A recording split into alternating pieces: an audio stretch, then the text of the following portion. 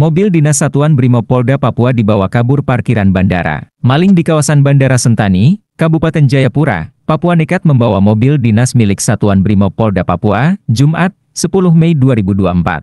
Peristiwa itu terjadi saat anggota polisi menjemput anggota Satgas Damai Karten sekitar pukul 14 WIB.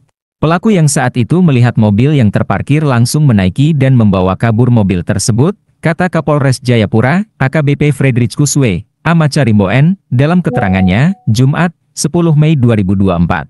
Dalam rekaman CCTV yang beredar di media sosial, tampak mobil Birmob tersebut dibawa pelaku dengan kecepatan tinggi saat melintasi sebuah pos penjagaan. Dan beberapa polisi, termasuk yang membawa senjata api, berlarian mengejar di belakangnya. Frederickus menyebut saat itu, anggota Satgas Damai Kartens yang berada di lokasi langsung melakukan pengejaran dengan dibantu anggota Polsek Bandara Sentani.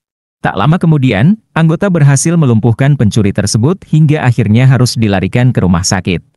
Pelaku berhasil dilumpuhkan di dekat batas kota dan sementara dirawat di Rumah Sakit Bayangkara Kota Raja dalam kondisi sadar, ungkapnya. Meski begitu, Frederickus belum mengungkap identitas hingga motif pelaku mencuri mobil tersebut. Hal ini karena masih diperlukan pendalaman lebih lanjut oleh jajaran pihak kepolisian. Saat ini kasus tersebut telah ditangani oleh Satreskrim Polres Jayapura guna mengetahui motif yang dilakukan oleh pelaku, ungkapnya. Download Tribun X sekarang, menghadirkan lokal menjadi Indonesia.